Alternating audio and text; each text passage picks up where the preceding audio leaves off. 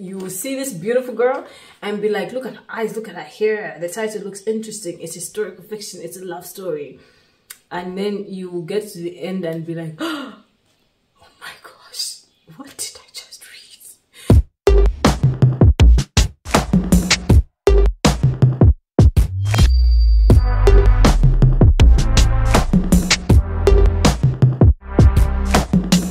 up. How are you doing? Chipa here. Welcome to Paged by Pego.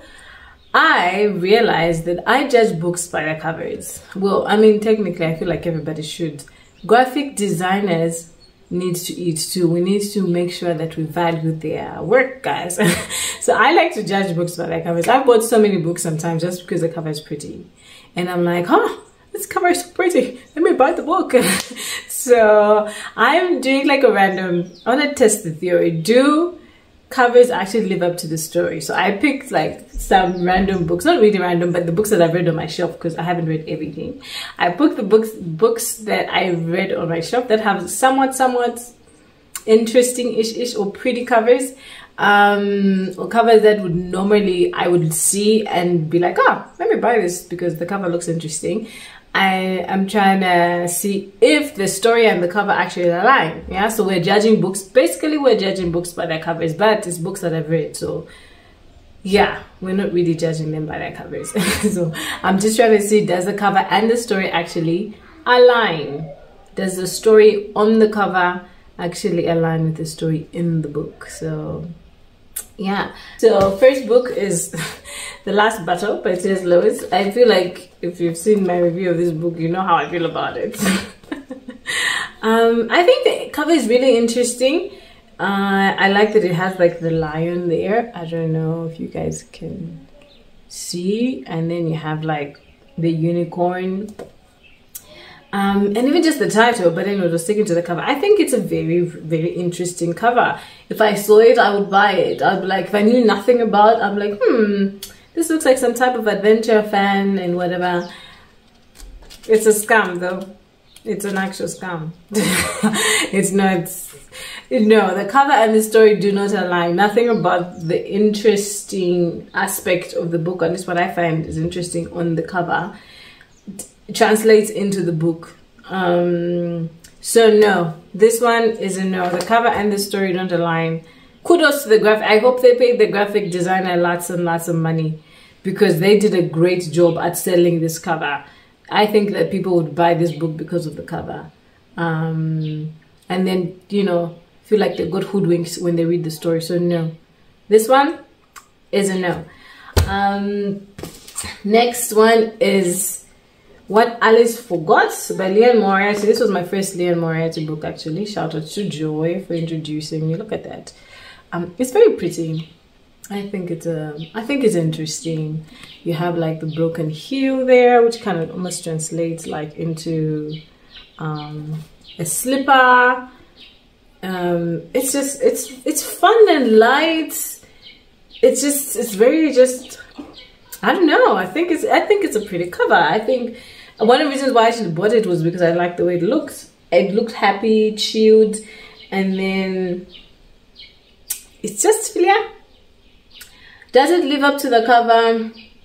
I think partially. I don't think it's as cute and happy and sweet as it looks on the cover actually um, but i do think it has a bit of a mystery vibe to the cover so i do think to a certain extent it does live up to that so i I would say yes, just a little bit. I think, I think a little bit, just a little bit. Okay, I think just it's a 50-50. I don't know. I don't know how I feel. I think it, it gives very happy vibes, but the book is not. It's not sweet and cute, but then also looks very happy, happy vibe, but like sinister, like you know, cute way. Just like, is this really cute though? Am I missing something? Because it looks like it's cute, but it's really not. so I think it achieves its purpose, really. I think it does, actually. So I would say yes for this one. Um, Nobi from here by Natasha Banda. I would say yes as well. I think the book is not very interesting. The book cover is not, it's interesting, but not interesting. It's like, oh, the suitcases, is the color palette I think is really nice. Um, yeah, I think just the way it's a it's a nice cover to have, and I think the book is a nice book. So yeah, it's not like oh great beautiful cover, but it's also like it's not like boring. It's just like oh this is a nice cover, and I think I think that's what I would use to describe the book. I think it's just it's just a nice book. Um, I think that the, the graphic designer deserved deserved that pay for this one.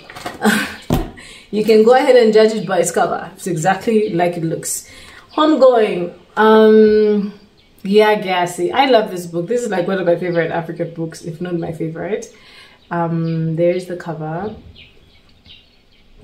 I think, yeah, I think it lives up to the cover. I was thinking about it. I think it does, eh? Yeah, I think that the cover, I think it'd be fair to look at it and be like, okay, this looks like it's an interest. It doesn't give much. Like, you, you know, you look at the cover and you're just like, you don't really know, eh? You don't know what to expect. Um, I think it's a nice, interesting cover. And I think that the book is, is very interesting and nice and amazing. It's a five star rated, rated book on my end. So I love this book. It's, I think, yes, Great. Um, Love's Pursuit by Siri Mitchell. Ah, this is a beautiful cover.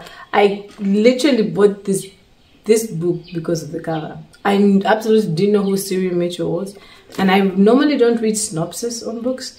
Um, but I saw this. I mean, look at this girl. Look at the girl in this. She's so pretty. She's just like strikingly beautiful, right? Like, and I don't even like historical romance. I, I enjoyed it. I think it's it's a very painful book. It's a painful book. I see this all this happiness that you're seeing here. It's a scam. it is a scam. It is a scam. It will wreck you. It's such a sad. It's it's a sad book. I promise you.